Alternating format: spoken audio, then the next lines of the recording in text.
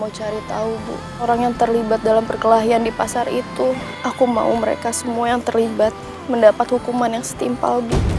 Gue bakalan terus cari info soal anaknya Bu Ambar. Jangan-jangan anaknya Bu Ambar itu apa mungkin Mutiara? Lu tuh keterlaluan tau gak? Lu udah bikin Bu Ambar meninggal, justru sekarang lu ngincer anaknya juga. Lu yang udah nyelidikin gue. Iya. Kasih tahu ke gue siapa anaknya Bu Ambar.